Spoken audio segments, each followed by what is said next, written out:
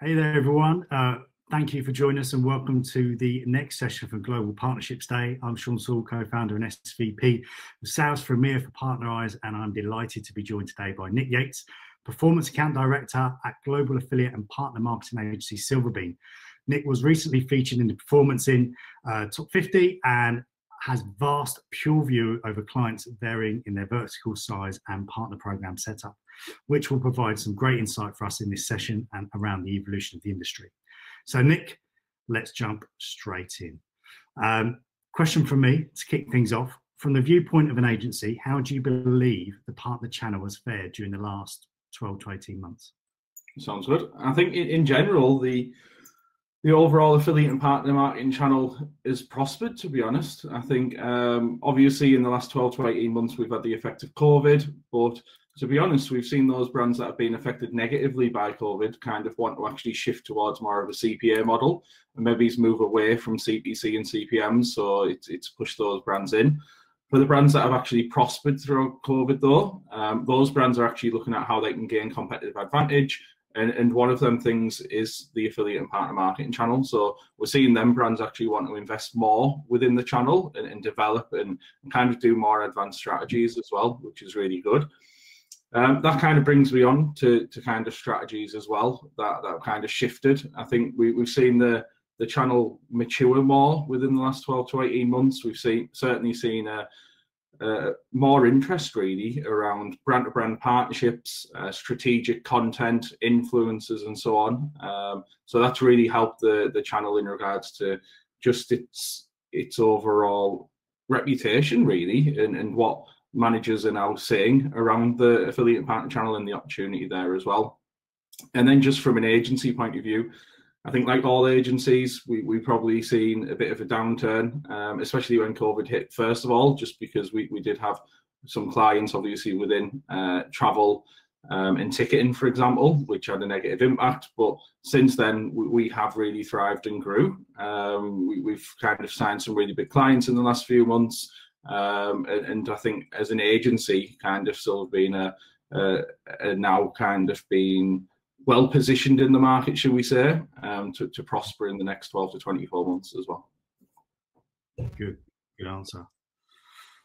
Um, that all sounds that all sounds right. Actually, just just one quick thing there. Do you think that um, do you think that maybe obviously more and more brands are moving away from kind of they want that the agencies kind of what, what is it about the agency strategic viewpoint then maybe that, that brands are preferring over maybe traditional kind of network management um, for us, I think it's strategic insight and, and, expertise. I think what really has shifted in the last 12 to 18 months is um, how brands are, are, looking at the channel more. And to be honest, they've maybe been found out in regards to um, the lack of support and the lack of strategic expertise that that that is maybe being offered by other kind of agencies or, or maybe it's in-house they want to kind of develop their learning and things like that i think for us then just being seen as an expert within the industry and to be honest being able to give impartial advice moving forwards as well in, in regards to kind of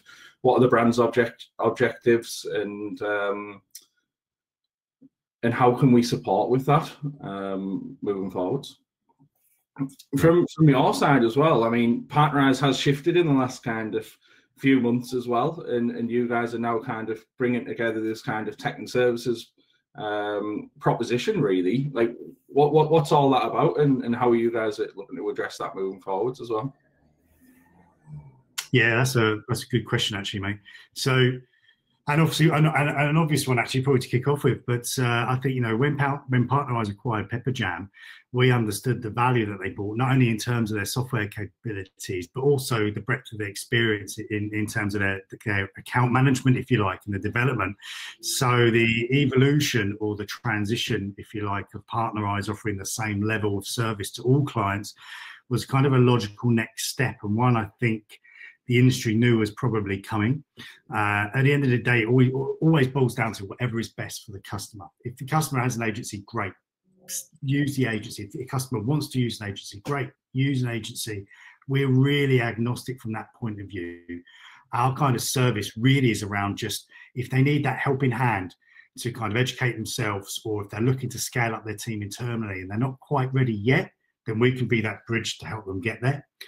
And it's not around uh, helping them use the system so much, it's more around helping them educate in, into the category and, and, and educate them internally in terms of how they can manage that program. So the approach is just about simply fulfilling the demand that we've seen from our clients, given the choice of support that it fits with the ambition and the kind of dynamics of their structure that's most effective. So we're committed to their success regardless of the choice they make. Uh, we know if they want to stick with agency, don't want to stick with agency, just want to do it themselves, great. You know, we're there to kind of help them really. So it kind of just gives them gives us more of a breadth of kind of options for the for the client to use. But definitely still very much an advocate of agencies, still very much a partner of agencies. Um, it's ultimately, you know, what, what, the client wants to do, and yeah. kind of each kind of client's different, I guess. Yeah, I think it's relevant by sector as well when you look at it. To be honest, just in regards to kind of what each sector needs as well, I think that differs uh, quite a bit in, in regards to kind of what their expectations are from an account management point of view and, and what they need from a strategy point of view as well. But it's it, it was certainly interesting to see you guys roll that out. And, and to be honest with you, when you did acquire Pepperjam, then uh, it was certainly on my mind back in the day, just in regards to kind of the movement into services as well and, and um, aligning with the technology as well, um, to be honest. Well, you know, you, you, when you think about the US, and, and, you know, some people say, "Oh, you know, walks like a duck, sounds like a duck." It's a duck, right? It's a network, but it's uh, yeah. US is very much a service-led culture. You've got to have a level of service there, you know, and that's why I think that that, that purebred affiliate kind of agencies, OPMs, are so strong in, in the US because it's such a service-led uh, market, yeah. and what also you know, we really liked about the Pepperjam option was that you know they their, their aim is just to help them in house. It's it's they don't want to be a forever on service. So that mm. is, different to a traditional network, and that that's you know that kind of model and that way of thinking really appealed to us. Yeah, that's interesting. Obviously, we put um, feet on the ground within the US as well uh, this year with. Um, with the Chicago office as well, and um, it's it's going well. To be honest with you, it's going really well from a from a Silverbean point of view. I think there's a lot of opportunity there to support kind of US brands either for their US and Canada campaigns or, or global proposition as well, because obviously we, we are a global agency there. So it's uh, it's, exciting times to be honest with you on, on that front as well. Hundred percent, hundred percent.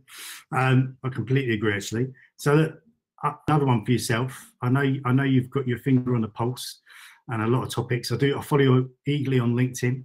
Um, um, there's a lot of topics uh, which brands are asking about right now.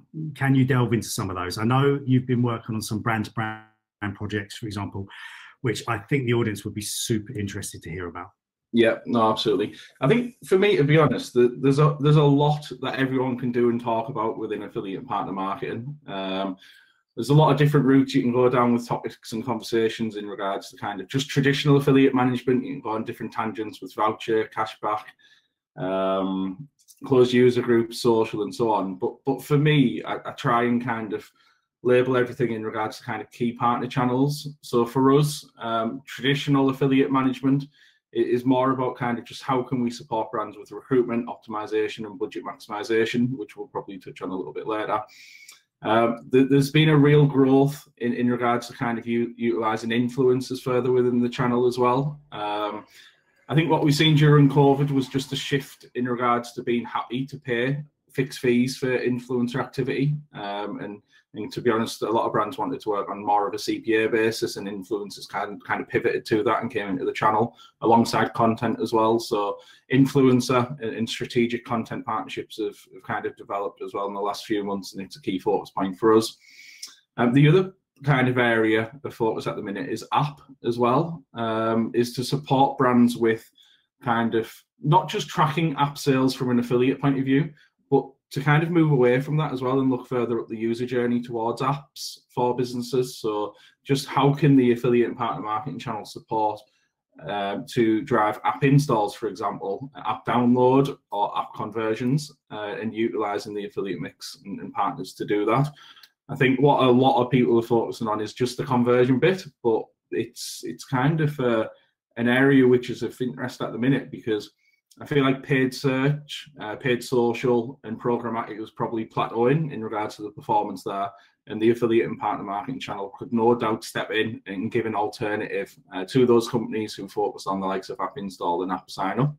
But then, like the last one that you said there was just in regards to brand to brand. Um, I think you know that I'm a key advocate for brand to brand partnerships. Um, I think there's a real opportunity for growth. I think it's all about kind of well, what is a mature affiliate and partner marketing program and an affiliate and partner marketing program which is mature often does utilize brand partnerships within that.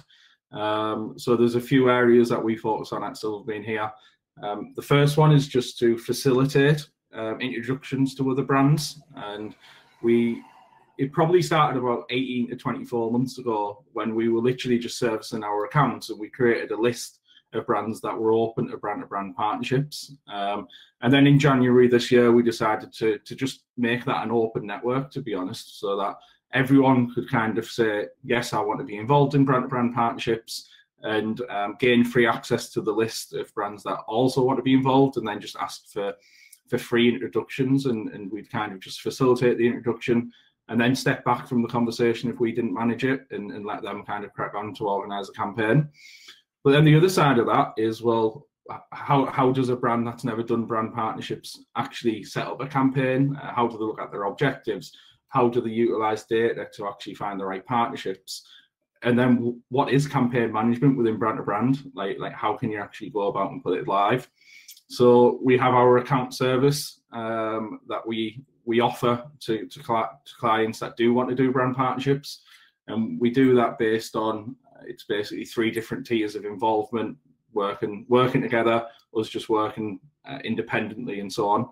Um, and we've also created a how-to guide, which is now on the the website at Silverbean to kind of just showcase a very simple view on how to enter brand to brand partnerships and, and maybe to just educate the market a little bit more and, and lean on the experiences of other brands and, and people that have worked in the sector for some time to try and educate those brands that maybe are just entering the space for the first time um, as well. So I think that's where we see kind of the, the market going. Um, to, to summarize, uh, traditional affiliate will always grow it'll always be about recruitment of optimization. Maybe it's a bit more in regards to kind of managing your, your spend a little bit better. Uh, influencers and content is growing. App is a big focus, but brand to brand is a, a, very hot topic in the last 12 months, and I think that will continue to be so as well.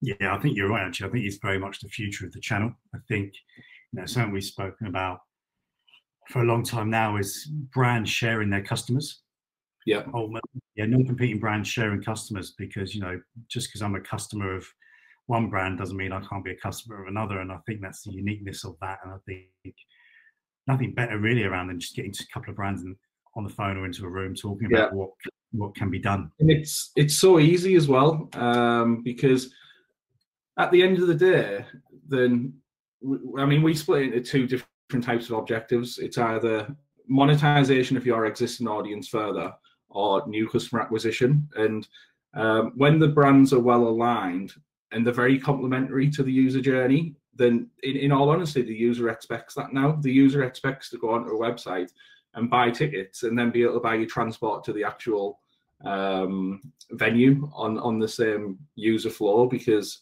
um, it's it's just pure added value. And and for for those brands that do have low margin maybes, it's a great way in order to increase the revenue per customer and to to, to maximize um, just the business's impact on that user as well.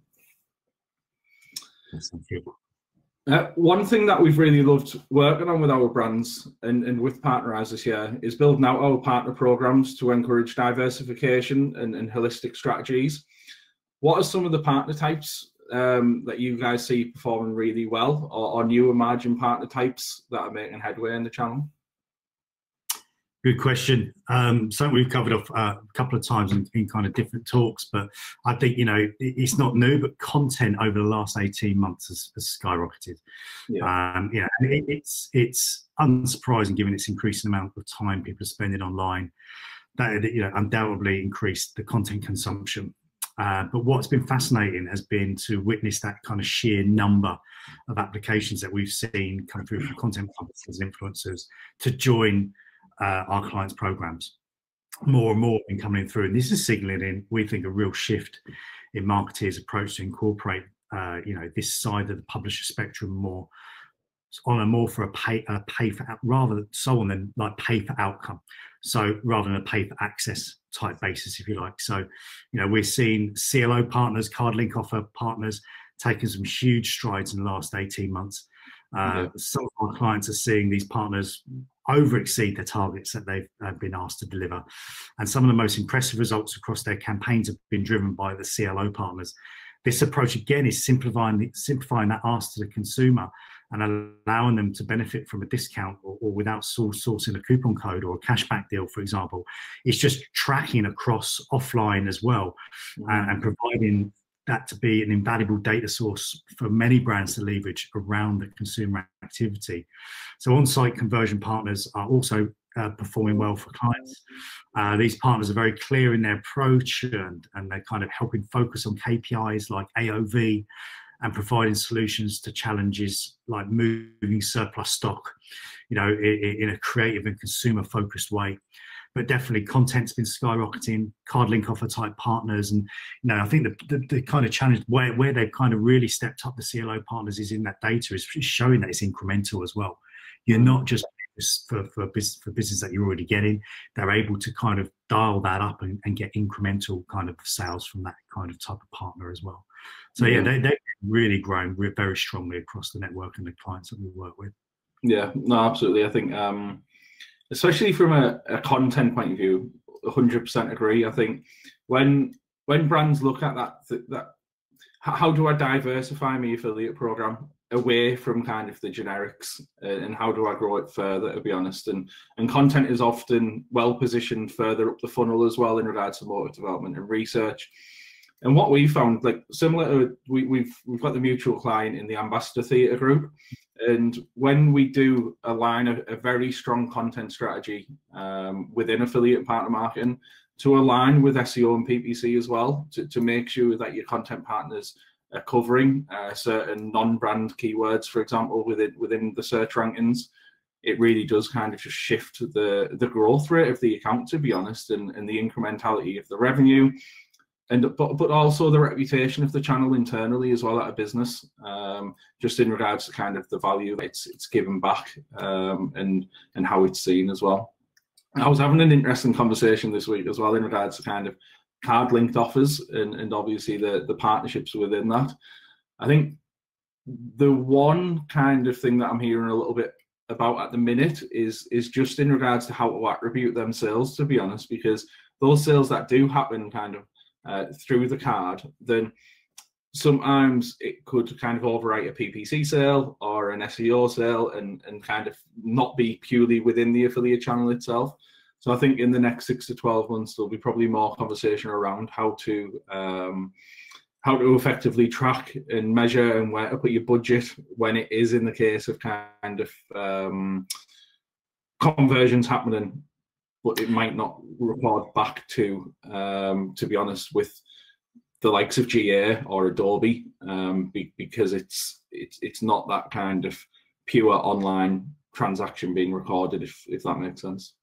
No, you're absolutely right. Nick. I think the key to that is getting access to the data, and you kind of yeah. have to kind of sit and look and, and look at that data and understand where's the incrementality coming from, versus you know was that a paid search conversion coming through? And it's only if you can get access to that data. And fortunately you know with the clo partners we've got we've got quite you know api integrations in with these guys so we can get access to a lot of data to help match stuff up to make yeah. sure that that sale wasn't this sale that came in this way. And and then you know if there's a 20% overlap then you pay 20% difference in what you're paying out. It, it, yeah, you know, yeah, yeah. say that way. But the key is getting it, it, it really is as well. And to be honest, we we've kind of got this maybe on a on a more traditional network view. And the issue is is the data and the to be honest, the resource required to get that data as well. Um, and it's it's a bit of a, a pain, shall we say, at the minute. But it'll be interesting to see how kind of brands can just develop uh, around that. And to be honest, it's only going to be maybe the enterprise brands that are asking those questions um, for now but it, it will develop moving forwards as well. Um, so it's it's an interesting one. Certainly an advocate for it um, and, and, what they can offer in, in, regards to kind of being a publisher. but um, it's it's an interesting one overall. Cool. Yeah, no, I, I 100%. If you can invest the time, the output pays for itself. 100% yeah. with these guys with it. So, right, one, one for you then, uh, Nick. Here is obviously your clients vary in degree of budget, and they put that they put towards their partner marketing efforts.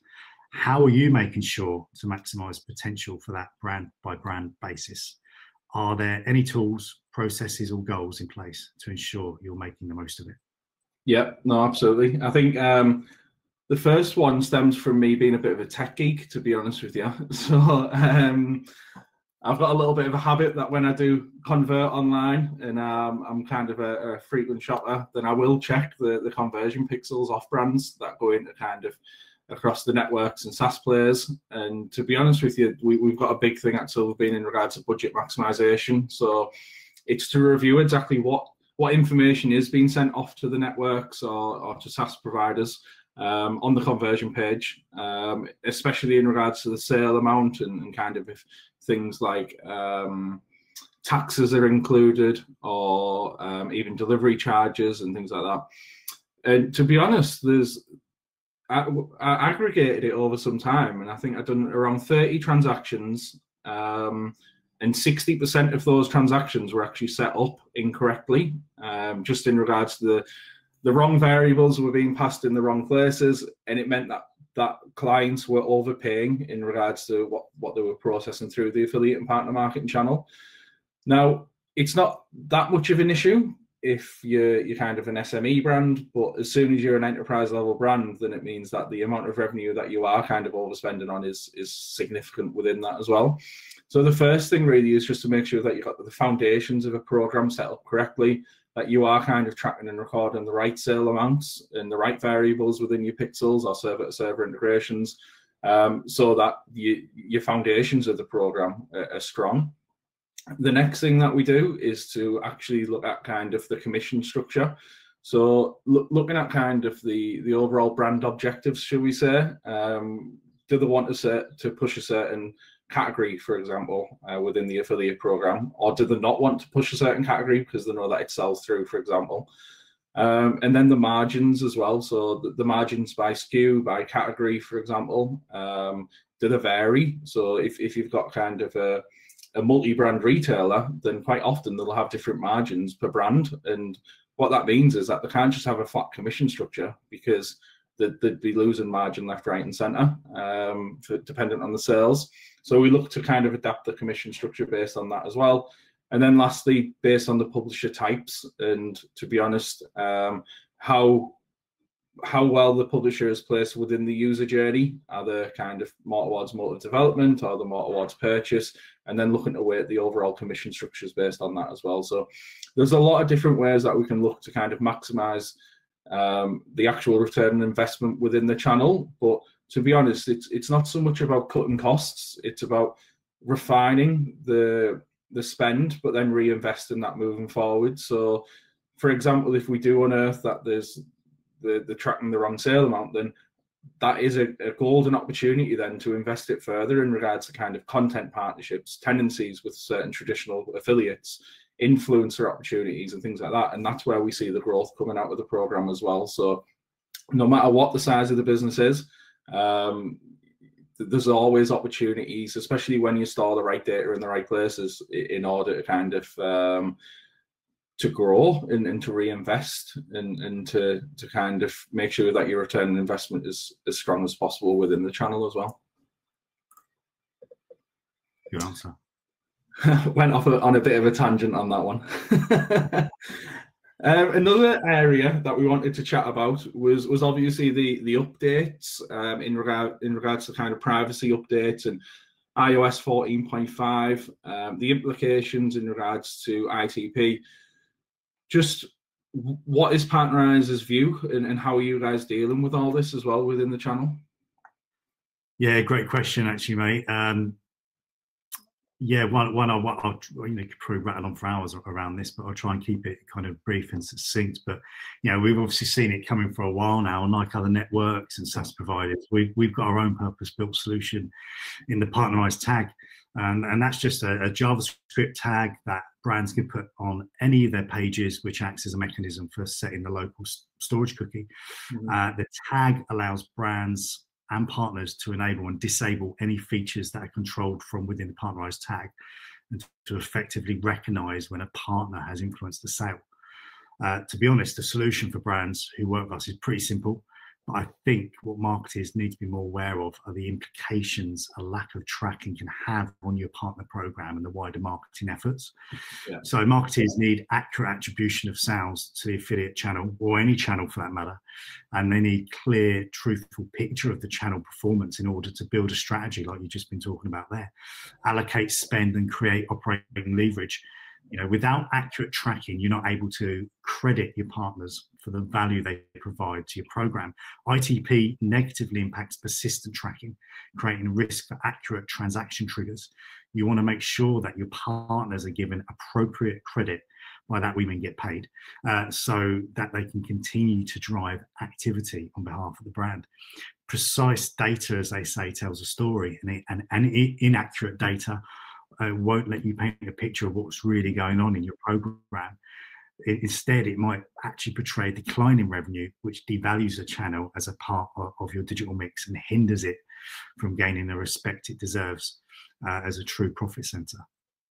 Yeah, I think it's it's been a, an interesting journey to be honest the last six to nine months just in regards to different approaches in regards to ITP as well and the updates and, and making sure that clients are ready for it. Um, some kind of providers are maybe chasing the tails a little bit just because they've had to update the technology rather than just having the technology ready and already de- deployed as well.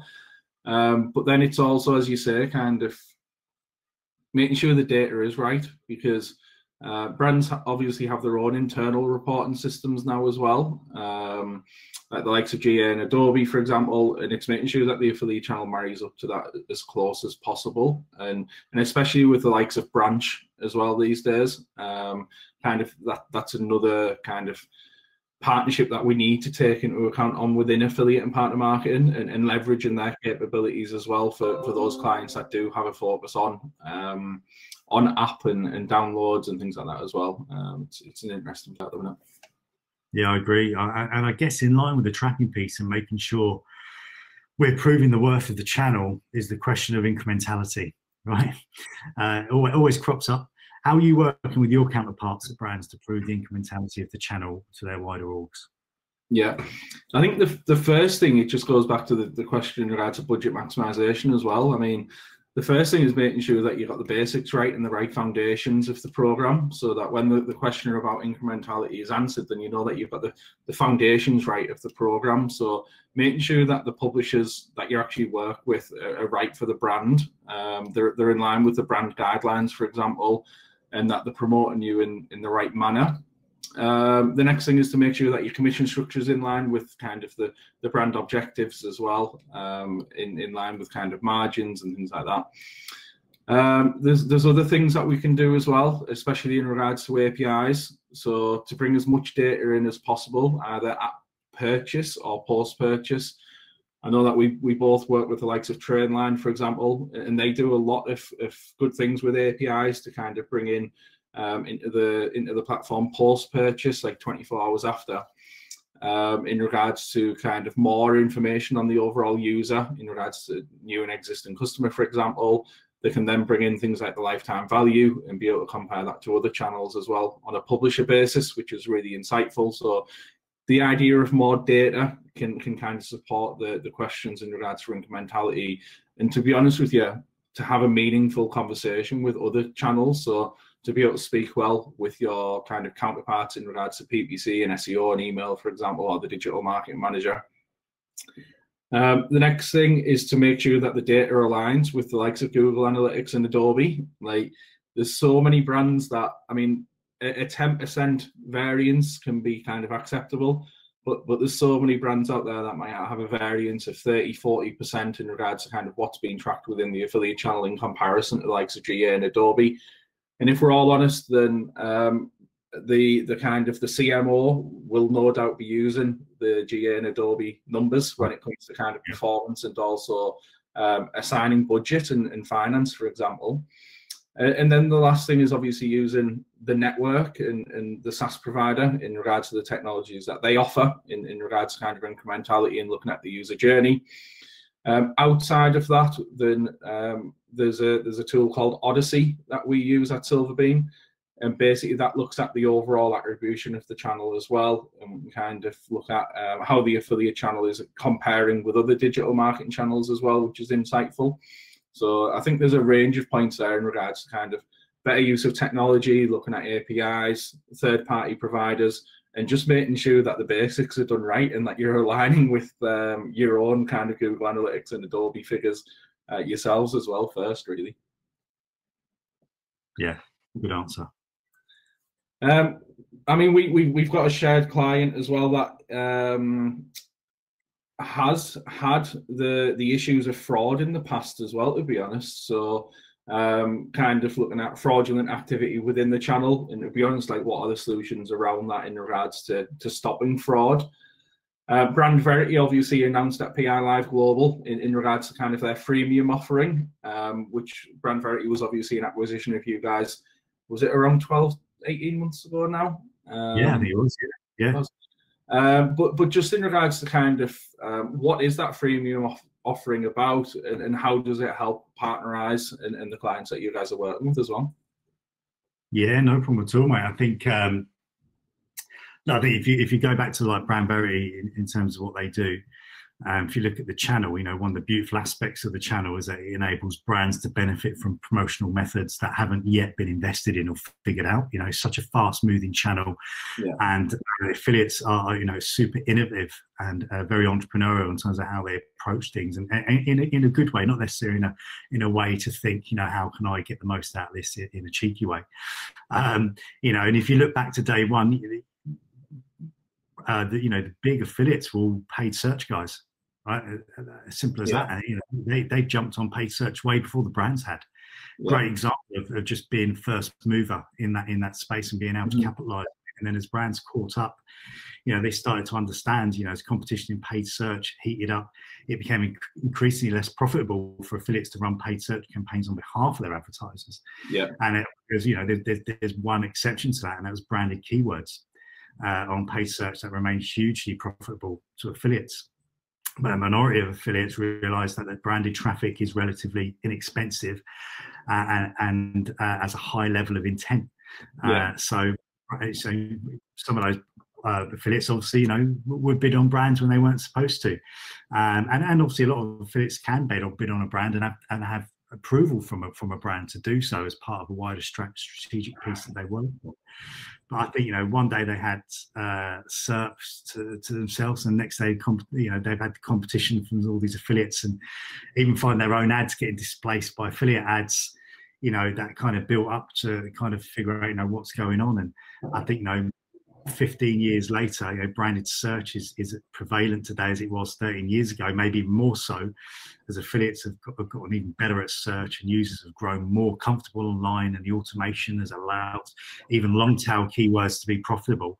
But given potential threats, uh, the cost of losing affiliate traffic uh, can be quite expensive to a brand uh, on that paid search piece. So I think that what brands tell us uh, when they discuss the reservations around monitoring is that you know three these reasons come up. They don't have the budget they don't understand the impact of the problem or the individual bonus plans create misaligned incentives right? So it becomes too tempting to bid on the brand. So these excuses are exactly just that they're, they're excuses. And in the age of kind of high budget scrutiny in brands you know brands can't let can't let the affiliates carry on with that unless of course they mm. kind of improved that as an industry. We've been getting better at kind of coming down on this. So we want to, we we want our channel to occupy its rightful place within the budgets and the programs, and we need to solve these issues once and for all.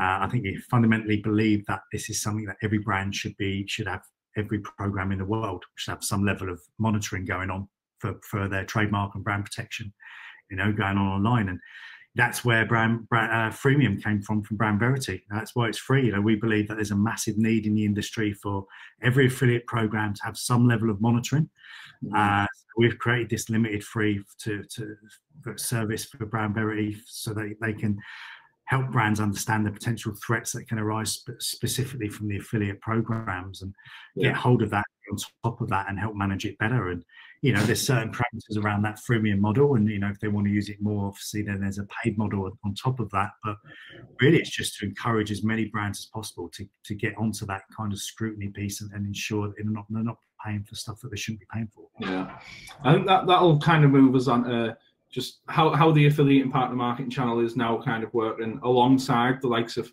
SEO, PPC, email, yeah. CRO, like. And, and to be honest with you, probably about five or six years ago, I kind of feel that the affiliate and partner marketing channel was always outside of the mix in, in regards to kind of it wasn't core to the digital marketing strategy, should we say. Um, PPC and SEO always used to work well together, um, and, and, the teams would work well together. But affiliate was always on the outskirts of that, maybe, and, and now it's it's kind of supporting that conversation in regards to kind of a more rounded view on affiliate and partner marketing within the digital strategy how the affiliate and partner marketing channel can support the other channels, but then how the other channels can kind of learn from what's happening within the affiliate channel as well, um, and moving from there. Yeah, I think you're right. There's always there's almost been a resistance, I think, from the kind of traditional kind of um, guys in this channel who kind of track and measure all that because you know they're so geared towards winning last click and they want that last click and they want it for their channel not other channels. And I think you know, as you collaborate with that, there's there's always that fear and risk of oh, how we, maybe we'll reduce some of these last clicks that we've been getting, and the whole commercial model was built upon. But you know, this we're seeing more and more brands like like you say, you know, they're embracing more of a cross-channel conversation in order to better understand the impact each of those channels is having with that and, and to help share ideas and help share like what is going on in, in this digital space. And I think that's where agencies particularly come very strongly because it's all under one umbrella. You know, you, you, you're moving as one. It's like that Sparta type mentality, right? Stronger together, all in one place. And that, and that really helps. Absolutely.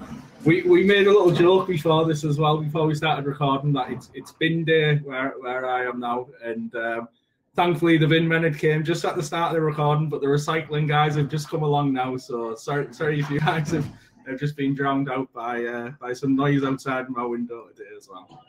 So I, I, had Sainsbury's being delivered earlier. I'm sure you probably heard a few balls clanging on the floor in the background anyway. So uh, don't worry. the, the joys of working from home, especially on a really warm day as well, when uh, we, we have to keep the windows open. But oh, so Nick, Nick, one for you. How, how, do you position the partner channel for your for your, for your uh, clients and brands alongside other marketing initiatives that they're running? What kind of intersections are you seeing? Yeah, um, for, for us to be honest, uh, working alongside other digital marketing channels is key. And and to be honest with you, it also shows the the maturity of the, the channel that we operate as well. So um, we, we we've kind of talked about our progression model at Silverbean in the past as well, just in regards to kind of how a brand can kind of go from uh, no campaign whatsoever to a market leading campaign overall. A market leading campaign, in our view, um, the, the affiliate channel is, is kind of working very, very closely with other digital marketing channels like SEO, PPC, CRO, email, and supporting them um, as, as, well as learning from the campaigns and, and kind of acting holistically. Um, we're seeing a growing need for um, for brands to work well with other digital marketing channels. Um, so we, we talked about kind of content, for example, earlier, and the the, the growth of content within the channel as well. Um, what what we're seeing from a from an agency point of view is that when we do align content with an SEO and PPC strategy for the brand in regards to kind of non-brand keywords, then to be honest, we're, seeing real growth in, in along that. But in order to, to put that strategy together, we need to work closely with SEO and PPC because they've already got a lot of data in regards to what are the non-brand keywords that are of um, significant value. So which ones are kind of um, high converting, um, high search, and, and kind of in high competition as well. Because as soon as we can kind of activate an affiliate campaign to maybe knock down your competitor one or two places, then it, does drive re, real results overall, really. Um, from a from a campaign perspective as well, um, once the affiliate and partner marketing channel is is more kind of in line with the digital marketing and seen holistically, it's just so much easier in regards to kind of campaign planning as well. So making sure that the affiliate marketing channel has been given a signed budget, for example, um, in order to support with campaigns, but but also that crossover in regards to how influencers can support the brand uh, from a brand awareness point of view, maybe, and content partners as well. So, for us as an agency, it's always a big focus to work well with the other digital marketing channels, both from a reputation point of view, but then also from a desired outcomes and, and kind of um, just just revenue increase as well. We, we often find that those brands that are aligning the channel with the other digital marketing channels are, are growing and, and they're growing stronger uh, in, in regards to the revenue growth. Um, one last thing as well is just the the utilization and learning from analytics and CRO as well within the team. Quite often, the CRO team will focus on the full user journey across um, all digital marketing channels. But um, what we're seeing now is that, especially for key partners, um, then utilizing a CRO approach to just the, the publisher user journey, um, it again proves dividends because it increases their conversion rate and can help them increase their average order value as well. So it's it's a nice tactic to kind of increase the revenue from key partners within the affiliate and partner marketing channel as well itself. Gotcha. And then brush my ego. What elements of Partnerize platform are, uh, are significant for optimizing program management?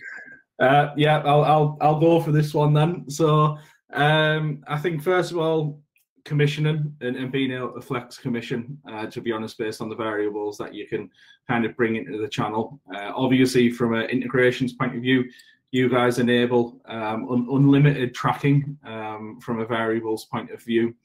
Um, so it means that everything can be brought into the network, but but then everything can also be commissioned as well within the platform which which is great from a kind of a, a margin point of view and a commission structure rules point of view as well. Um, the other side of that is just the ease of reporting and to be honest, be able to pivot on data. Um, we mentioned about um, the Ambassador Theatre Group earlier, for example, which is a, a venue, uh, a box office client of ours. Um, they can basically identify and commission and report based on a seat at an individual venue for a night uh, and it, it's just so granular, to be honest, just in regards to be able to report and, and provide insights back to the client.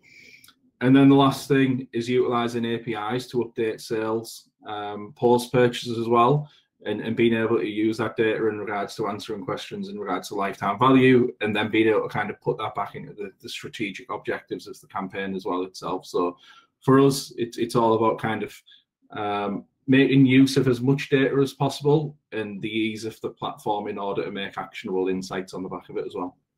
Great, thanks, mate. It's good to know. Um, I know that there's been kind of a, a, lot of questions from clients around benchmarking. Um, how is Partnerize approaching this, and and what data do you guys kind of provide overall uh, for brands and then the industry as well, just in regards to the the insights that you guys can give um, to, to clients across the the channel, really? Yeah, that's a good question, mate. It's it's something that it's something that we get asked daily, and it's a big reason why we took the learnings from um, Pepperjam when we acquired them to replicate their sales and marketing index into our own partnership growth index. So this looks at trends in revenue, um, the drivers of this AOV, clicks, conversion rates on a rolling basis, and is updated monthly to give some insight into the channel using our own benchmark data. Uh, it's not conclusive. I don't think any anyone's benchmark data is, is, fully conclusive, obviously, but it's helpful specifically for brands looking to gauge how others in the industry are approaching the channel. Um, we're also hoping to expand this out to mirror the original index more, so we'll focus on partner types and their performance on a vertical and in sub-vertical basis. So we're getting there. Uh, we're, we're, producing it. It's going to get better. It's going to get more detailed, um, and it's something that we're working on and will continue to evolve. Sounds good. I'm uh, looking forward to seeing more from that side of things as well. Uh, just just in regards to kind of getting insights and being able to benchmark as well uh, for for clients um, overall. Hundred percent. Um, yeah, and, and, we look for. We can't wait to get it all done and ramped up um, to where we need to want, where we want to get it to actually. Yeah. Uh, another one for you: How are you seeing industries develop? How are you seeing industry develop over the next twelve months? What are the what are you advising brands to spend their resources on, both in regards to time and money? Yeah. I think this is always going to be bespoke to client, and, and, to be honest, that's why we have the progression model at Silverbean as well to be able to kind of audit campaigns to see where they are in regards to the maturity of, of affiliate and partner marketing for them as an individual brand, and then for us to kind of suggest the right strategy for them.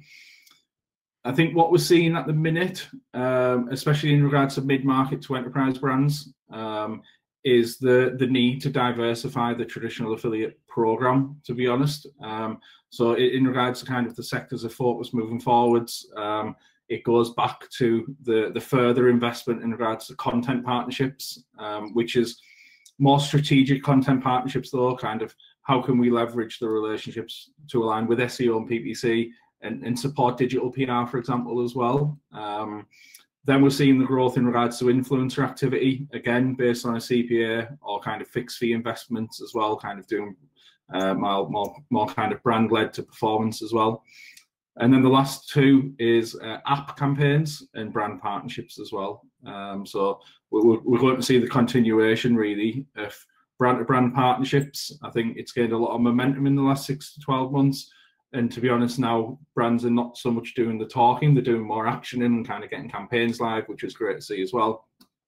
And I think that app is going to continue to develop as well. Um, so the need to utilize the affiliate mix to drive both app install uh, and app sign up maybes and for the affiliate partner marketing channel to, to maybe reputable enter that space more because at the minute so many brands are relying on um, paid social and programmatic in order to drive either app install or sign up as well. And I think the affiliate partner marketing channel can certainly support with that as well. Great answer. Um, the the last question really is just in regards to automation. Um, it's it's been a a big focus point for a lot of brands, um, just in regards to making sure that the they're spending the the time wisely on uh, affiliate and partner marketing. Um, to what level do, do you think that we need to automate? Um, and will the industry at some point become fully automated? Just just what are your thoughts on that? Uh, no, I don't think the industry will ever be fully automated um, because it's, it's, it's always been a and probably always will be a relationship based industry. There'll always be a level of contact uh, and communication and relationships being built up within the, the, brands to the partners and vice versa.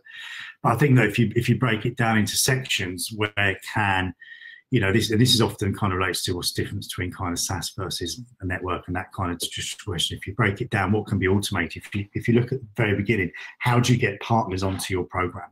That can be automated and being able to automate different paths to get different partners onto programs, right? Because on, we all know onboarding an influencer is not the same as on, onboarding a cashback affiliate. You know, mm. they're two very different beasts.